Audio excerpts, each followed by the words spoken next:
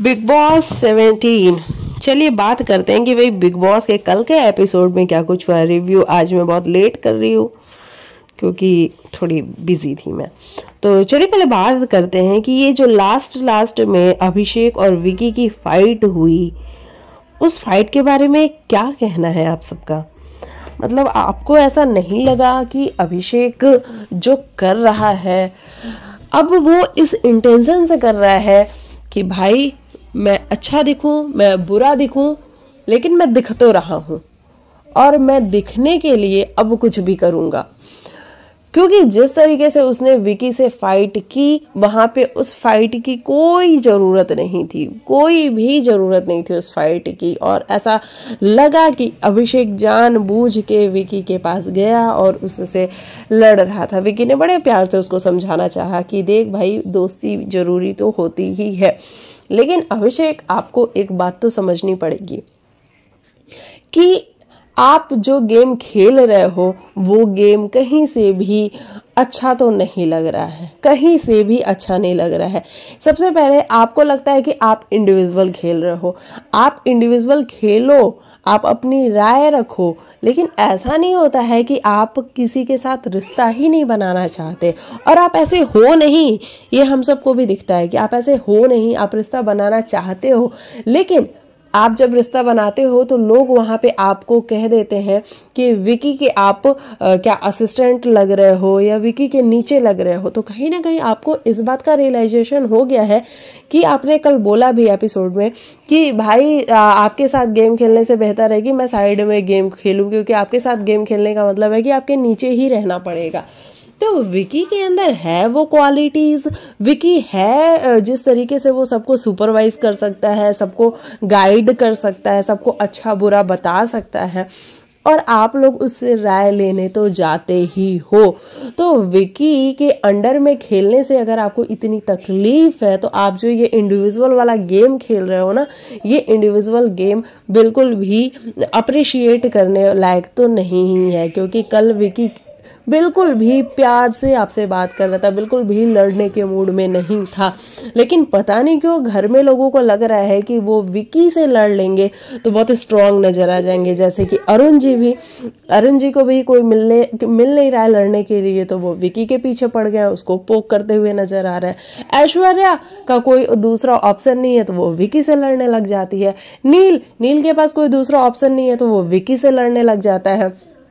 और अब अभिषेक, आपका भी पैटर्न बन चुका है कि आपने एक बार जो वो डिसरेस्पेक्ट वाली लाइन लांघी है दिवाली वाले टास्क के बाद से, उसके बाद से आप तुरंत तू तड़ाक पे आ जाते हो भाई, ये वाली बात तो मुझे समझ ही में नहीं आती है कि आप किसी से आप आप आप आप करके बात कर रहे हो और तुरंत आप वो वाली लाइन लांग लाइन को लांग के आप फिर तू तू करने लग जा रहे हो। तो ये बताता है कि अभिषेक, आप गेम में तो बहुत इन्वॉल्व हो। लेकिन आपको ये बात समझनी पड़ेगी कि आप बिल्कुल भी अच्छे नहीं दिख रहे हो। अगर आपको लग रहा हो कि बाहर आपकी ऑडियंस बाहर आपके लोग आपसे प्यार कर रहे होंगे तो भाई कुछ लोग होंगे जो आपको अप्रिशिएट करेंगे लेकिन मेरी नज़र में आप को, कोई भी ऐसा काम नहीं कर रहे हो जहाँ आपको अप्रिशिएट किया जा सके। पहले हम पहले हमको आपके जो आँसू थे वो जेनविन लगते थे। आप जिस तरीके से अग्रेशन में आ जाते थे, वो जेनविन लगता था कि ये बंदा ऐसा ही है। लेकिन ये बंदा ऐसा है कि वो रिश्तों को ही प्रायोरिटी नहीं दे रहा है, जिसको आप आप कर रहे हैं, उसी को तू तू करने लग जा रहा है एक सेकेंड में। तो ये वाली गेम तो बिल्कुल भी अप्रिशिएट नहीं की जा सकती है। खानजादी आपके पास आके बैठती है, वो अपना, अपनी बात शेयर करना चाहती है कि भाई मुझे डर लग रहा है कि मेरे घर वाले क्या सोच रहे होंगे कि जो हम यहाँ कर रहे हैं। आप उसकी बात भी सुनने को तैयार नहीं हो। मतलब अगर आपसे कोई इमोशनली अटैच है और वो कुछ बात करना चाह रहा है आपके साथ तो एटलीस्ट अभिषेक, थोड़ा टाइम तो निकाल लो ना। पूरे time game game game game content content content ऐसे नहीं होता है। क्योंकि ये एक रियलिटी शो है। यहाँ स्क्रिप्टेड नहीं है कि आप स्क्रिप्ट के हिसाब से काम कर रहे हो। तो मुझे तो ऐसा लग रहा है कि आपने अपने दिमाग में एक स्क्रिप्ट बनाई हुई है और उस हिसाब से चल रहे हो। आपको पता है कि मुझे कब किसके साथ कैसा व्यवहार करना है? क्योंकि वो आपकी स्क्रिप्ट में फिट बैठ रही है लाइन। आप वैसा व्यवहार कर रहे हो तो अभिषेक आपको ये बात तो समझनी पड़ेगी। वहीं अंकिता बैठ के मुनावर से ये बात कह रही थी कि ये जब देखो विकी से लड़ने के लिए आ जाता है और इसके कोई रिश्ते जेनविन नहीं है यहाँ पे और ये बात तो क्लियर भाई हमें भी नज़र आ रही है। वहीं हम देखें तो मुनावर के आँसू आज निकले और एक नहीं दो दो बार निकले मुनावर के आँसू। ईशा मुनावर को समझाती हुई नज़र आ रही थी कि भाई जो मनारा के साथ तुम दोस्ती निभा रहे हो मुनावर तुम्हारी तरफ़ से तो वो हंड्रेड परसेंट दे, देते हुए तुम नज़र आते हो लेकिन मनारा का क्या? मनारा कोई फ्रेंडशिप को प्रायोरिटी नहीं देती है वो सिर्फ़ और सिर्फ़ गेम खेल रही है और गेम के लिए वो कुछ भी करेगी। मुनावर को हालाँकि ये सब कुछ दिखता है, लेकिन फिर भी मुनावर ऐसे लोगों के बीच में फंस चुका है। मतलब एक तरफ़ तो वो अभिषेक को कहता है कि मेरा दोस्त है, दूसरी तरफ़ वो मनारा को कहता है कि मेरी दोस्त है। लेकिन दोनों ही ऐसे लोग हैं जो कि कभी भी बागी बन जाते हैं। बागी इन द सेंस कि मतलब वो कभी भी अगेंस्ट में जा सकते हैं। और मुनावर के साथ भी जो अंकिता कह रही थी ना कि अभिषेक पता नहीं क्यों मुनावर को, मुनावर पता नहीं क्यों अभिषेक को लेके चल रहा है, जबकि अभिषेक मौका आने पे मुनावर को भी ऐसे ही तू तू करके बात कर लेगा। आज मुनावर प्यार से बात करता है तो अभिषेक उसके साथ प्यार से है। लेकिन जिस दिन मुनावर ने अपनी टोन चेंज की या फिर जिस दिन मुनावर ने उसको समझाना चाहा कि भाई तू यहाँ गलत है, तू ऐसे कर रहा है, तू वैसे कर रहा है, उस दिन अभिषेक मुनावर का भी नहीं है। तो ये बात तो श्योर है भाई कि मुनावर को थोड़ा सा अपना गेम सोच समझ के खेलना चाहिए। मनारा से तो बहुत ज़्यादा सेफ़ खेलना चाहिए, क्योंकि जो मनारा कर रही है घर के अंदर, अब उसको पता है मनारा को कि भाई मुनावर को मुझे अपनी साइड कैसे रखना है। जिस तरीके से आज वो परफ्यूम वाली बात कर रही थी कि मैं उस पर एम सी लिख के तो मैं अपना परफ्यूम दे दूँगी, मुझे पता है तुम्हारे पास बहुत सारी चीज़ें। तो मनारा का भी एक है पैटर्न जिस तरीके से वो मुनावर से बात करती है और मुनावर को ये बताती है कि I am always there for you Munawar. और वो सारी चीज़ मुनावर को समझ में आ रही होती हैं, लेकिन फिर वही है कि वो हर बार कह रहा है कि मैं इमोशनल बंदा हूँ, मैं इमोशनल हो जाता हूँ, मैं जिससे रिश्ते बनाता हूँ, उन रिश्तों को मैं आसानी से तोड़ तो नहीं पाता हूँ। तो मुनावर, आपको समझना होगा कि ये एक गेम शो है। आप रिश्ते ज़रूर बनाइए, रिश्ते ज़रूरी भी हैं। बार बार कहा जा रहा है कि ये रिश्तों का ही शो है। या तो आप दुश्मनी बनाइए, दुश्मनी करिए तो आप दोस्ती करिए, कुछ भी करिए, लेकिन रिश्ते बनाइए। लेकिन ऐसे भी मत बनाइए जहाँ पे आप बार बार एक घेरे में आके फंस जा रहे हैं कि अब आप क्या करें। है ना? क्योंकि मनारा तो अभी अनुराग के पास भी जाके वो बात कर लेती है मनारा आपके पास भी आके बात कर लेती है और मनारा ये करती ही रहेगी। तो ये वाली बात है। अच्छा आज अरुण जी को पता नहीं क्या हो गया था कि वो अब आ, विकी के ही पीछे पड़ गए और कंटिन्यू विकी को पो किए जा रहे हैं पो किए जा रहे हैं। लेकिन विकी ने भी जिस तरीके से अपनी बातों से अरुण जी को बताया है कि भाई अरुण गेम खेलना अच्छी बात है। दो दिन से जाग गए हो ना? दो दिन से गेम खेलने लग गए हो ना? कैसा रहा दो दिन से गेम जब खेल रहे हो? तो मज़ा आ रहा है दो दिन का गेम? तो वाकई में अरुण जी, दो दिन से ही आप जागे हो तो थोड़ा सा धीरज धरो। और जिस विकी के सहारे आप भी दिमाग के कमरे में थे, और विकी भाई बताइए क्या करना है? विकी भाई बताइए क्या करना है? आज उसी विकी के अगेंस्ट आप खड़े हुए हो, और आपको लग रहा है कि विकी से ही लड़के कंटेंट आ जाएगा। तो ऐसा नहीं होता है। कंटेंट लाने के लिए भी ना थोड़ा दिल दिमाग सब यूज़ करना पड़ता है और देखना पड़ता है कि सही और गलत क्या है। कई बार आप कंटेंट के चक्कर में बहुत ज़्यादा गलत दिख जाते हो और वो अप्रिशिएट करने वाली तो बात नहीं है। आज विकी के विग के बारे में भी बात हुई और आपने कहा कि ये पहनने का टाइम आ गया अच्छा वो वाला टाइम आ गया। तो ये सब कुछ वहाँ पे अंकिता हालाँकि स्टैंड लेती हुई नज़र आई, लेकिन विकी ने कहा कि अंकिता चुप हो जा, क्योंकि विको, विकी को पता था कि इस बारे में बात होगी तो बार, बात दूर तक जाएगी, और क्यों इस बारे में बात करनी। तो विकी ने वहाँ पे ठीक किया कि अंकिता को भी चुप करा दिया कि अंकिता चुप हो जाए लेकिन ये बात तो ऑडियंस के सामने आ ही गई, और ऑडियंस को पता तो चल ही गया। तो इस तरीके से कुछ बातें हुई। अच्छा अभिषेक ने भी अपनी फाइट में एक चीज़ बोली कि भाई शक्ल के ऊपर मत जा क्योंकि विकी ने बोला कि भाई तू अपनी शक्ल तो देख तू कैसा हो गया है। मतलब उसका सेंस ये था कि तू गेम के चक्कर में कितना पिस्ड ऑफ़ हो रहा है और वो तेरी शक्ल पे दिख रहा है। उसका मतलब ये था विकी का। लेकिन आ, आ, आ, आ, क्या नाम है इसका? अभिषेक। लेकिन अभिषेक को ये समझ में आया कि शक्ल और वो बालों के बारे में बात कर सकता है तो उसने कहा कि भाई, शक्ल की तो बात ही मत कर, क्योंकि शक्ल के बारे पे बात करेगा तो फिर तो मैं बहुत सारे ऐसी चीज़ें बाहर लेके आऊँगा जो तू सोच भी नहीं सकता है। तो बेसिकली अभिषेक उसके बारे में ही बात कर रहा था कि मैं आपकी बिग एंड ऑल के बारे में बात करने चालू कर दूँगा।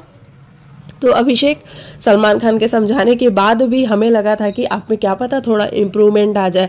तो मतलब अब आप ईशा से नहीं लड़ोगे अब आप विकी से लड़ोगे। क्योंकि सलमान सर ने ये भी कहा था कि भाई ते, तेरी हिम्मत नहीं हुई विकी ने एक बार तेरा हाथ झटक दिया तो कि तू जो दोबारा जाके विकी से लड़ ले। तो आपने आज लगे हाथों विकी से फाइट कर ली कि सलमान सर देखो मैं सिर्फ़ ईशा से फाइट नहीं कर सकता हूँ मैं विकी से भी फाइट कर सकता हूँ। तो ठीक है भाई, अब आप जो भी बनने की कोशिश कर रहे हो यहाँ पे लेकिन अच्छे तो नहीं लग रहे हो, क्योंकि हम, मैं खुद आपका साइड हर बार लेती हूँ। मुझे लगता है कि आप बड़ा अच्छा गेम खेलते हो। मुझे लगता है कि आप दिल के बंदे हो। मुझे लगता है कि आप इमोशनल बंदे हो। लेकिन ऐसे नहीं होता है। सिर्फ़ आप अपने स्वार्थ के लिए, आप, ऐसा लग रहा है कि आप खानजादी को भी यूज़ कर रहे हो। और खानजादी जो हर बार डरती है आपके पास जाने से, आप खानजादी को एक बड़े प्यार से, बड़े तरीके से सॉरी खानजादी सॉरी शहजादी मेरे से बात कर मैं ऐसा नहीं करूँगा, वैसा नहीं करूँगा, और फिर आप वही करते हो। तो खानजादी डरती है और उसका डरना बनता है, और मुझे तो लगता है कि खानजादी को भी ना एक स्टेप पीछे ले लेना चाहिए और अपनी इंडिविजुअल गेम खेलनी चाहिए। अच्छा आज खानजादी की भी फाइट हो गई अंकिता से। मतलब खानजादी जिसने तुम्हें संभाला, जिसने तुम्हें फिर से खड़ा किया, तुम उसी से लड़ने लग गई आज। तो थोड़ा तुम भी सोचो ना खानजादी की क्या कर रही हो। और एक बार गुस्से में आई तो फिर मनारा ठीक कहती है, मनारा बिल्कुल सही कहती है आपके बारे में। ऐसा नहीं होता है खानजादी। दोस्तियाँ अगर आप बनाते हो तो ऐसा नहीं होता है कि गुस्से में वो दोस्तियाँ ख़त्म हो जाती है और फिर आप कुछ भी बोलते हो। बाद में आपने मदर टेरेसा वगैरह भी बोला। वो तो अंकिता का बड़प्पन है कि अंकिता देखो, इतना बुरा भला कहने के बाद मनारा के पास भी वो जाती है। और मनारा से कहती है कि, मनारा, मुझे तू एक प्यारी सी क्यूट सी बच्ची लगती है जो कि थोड़ी रिजिड है, जो कि थोड़ी सी ऐसी है कि बस उसको गुस्सा आता है। और वहाँ पे मनारा का क्या कहना है? मुझे ना आपसे वो वाली वाइब नहीं आती है। मुझे ऐसा लगता है कि आप थोड़ी सी ऐसी ऑर्डरिंग मतलब ऑर्डर देती हुई सी नज़र आती हैं। मुझे आपकी कुछ चीज़ें पसंद नहीं है। ठीक है भाई मनारा ये आपका कॉल हो सकता है लेकिन अंकिता में भी वैसी ही है शायद इसीलिए वो बार बार आपके पास जाती है। ऐसा नहीं है कि हमने सिर्फ़ आज के एपिसोड में देखा है कि अंकिता आपके पास गई है। वो कल आप जब सना के लिए आप रो रही थी तो भी वो आपके पास गई उन्होंने उसने आपको हक किया। और वहाँ पर भी आपका जो टॉन्ट का लेवल था ना वो ये था। वहाँ भी आप ये कह रही थी मुझे ना ये बड़ी आ, आ, नहीं आप कौन सा वर्ड यूज़ कर रही थी? मुझे सना चालाक सी नहीं लगती थी।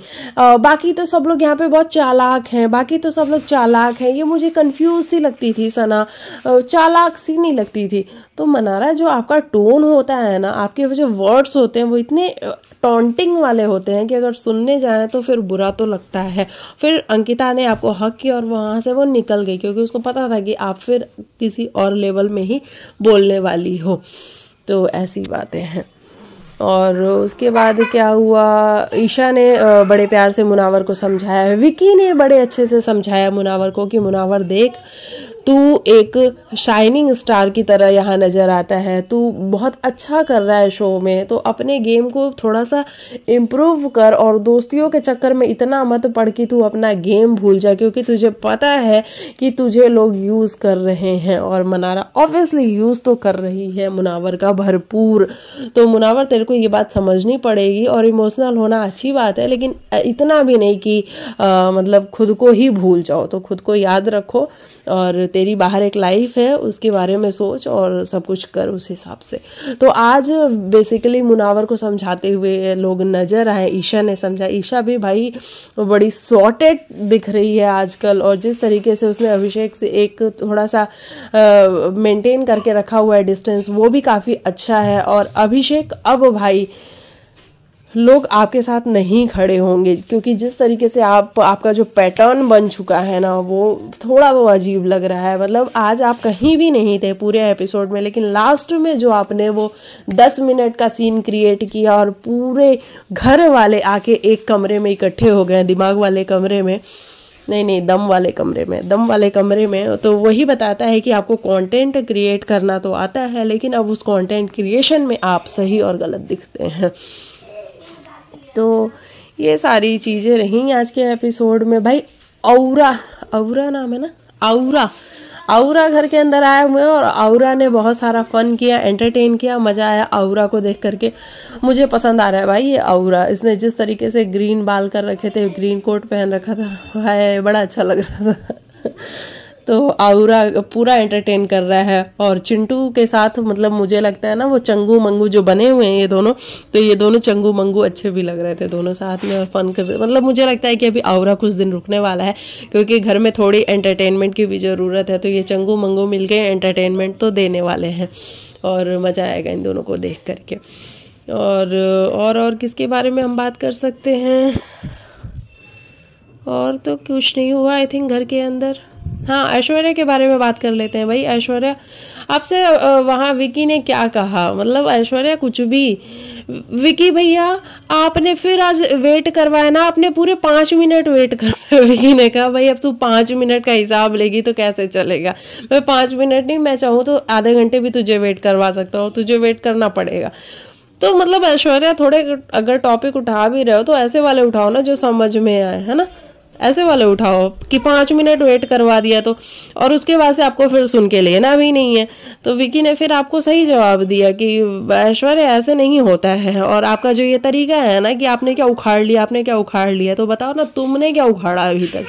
तो ये उखाड़ लिया ऐश्वर्या के वर्ड्स तो थोड़े से ऊपर नीचे जाते हैं। ऐश्वर्या को ये समझना पड़ेगा।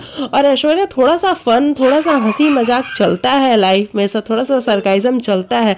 ऐसा नहीं होता है कि आप हर बात पे ऐसे चिड़कुली सा मुँह बना लो। और आप हर बात पे बनाती हो मुँह। तो आपको इस बात को तो थोड़ा समझना होगा। और नील भी हर टाइम ये सोच के खड़ा रहता है कि भाई मुझे तो स्टैंड लेना है ऐश्वर्या के लिए, मुझे तो स्टैंड लेना है ऐश्वर्या के लिए। तो ये जो हस्बैंड वाइफ है ना, इनका तो मतलब एक नेक्स्ट लेवल ही है। मुझे नहीं समझ में आ रहा, दुनिया में लोग अपनी वाइफ को प्यार नहीं करते क्या?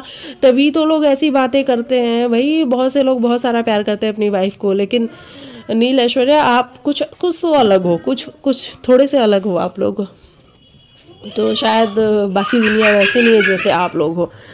तो चलिए मेरे हिसाब से रहा ये आ, कल के एपिसोड का रिव्यू जो कल रात को हमने देखा था। अब आज के एपिसोड का रिव्यू मैं कोशिश करूँगी रात को ही कर लूँ। नहीं कर पाती हूँ तो कल सुबह में तो पक्का कर लूँगी। बाकी मिलती हूँ नेक्स्ट वीडियो में तब तक के लिए बाय बाय टेक केयर अपना ख्याल रखिए।